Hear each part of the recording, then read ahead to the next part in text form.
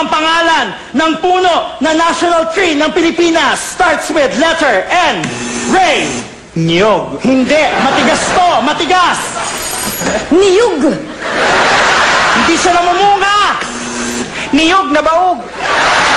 Matigas, hindi namumunga. Tapos, nakikita lang ito sa mga virgin forest. Go, Marina! Virgin coconut oil. Puno nga, puno! Ano? Virgin coconut tree. Puno to, puno na malaking malaki. Sa sobrang laki nito, kapag pumunta ka sa ilalim, pwede kang magpalamig.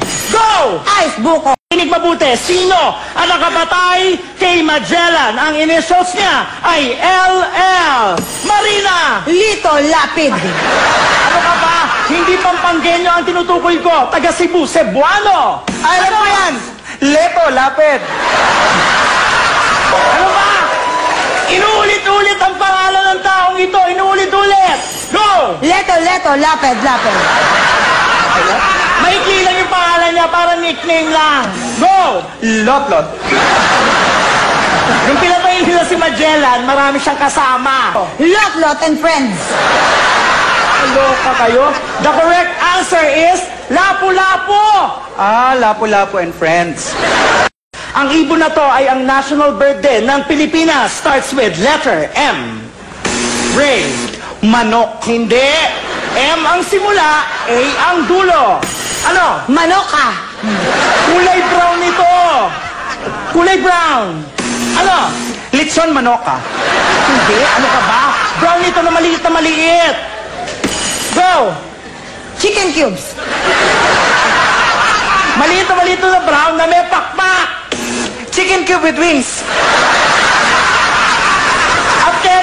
Nilagay sa panty ang chicken cube? National bird ng Pilipinas. Ang sagot ay manok na bata. Walang masyadong natawa. Saan tayo madalas pumunta pag summer para maligo? It starts with a letter B. Ray. Banyo. Ay nako, hindi. Pag pumunta ka dito, ka. Bubong. Hindi. Kapag pumunta ka dito, marami kang makikitang babaeng nakabikini. Ray! Beer house. Sorry, Ray. The correct answer is beach. Ay, beach house. Ano ang ginagamit na flotation device sa dagat upang hindi ka malunod? Starts with letter S. Marina. Sirena. Hindi siya babae. Shokoy. Hindi siya lalaki. Marina. Shoki. Ang tamang sagot ay styrofoam.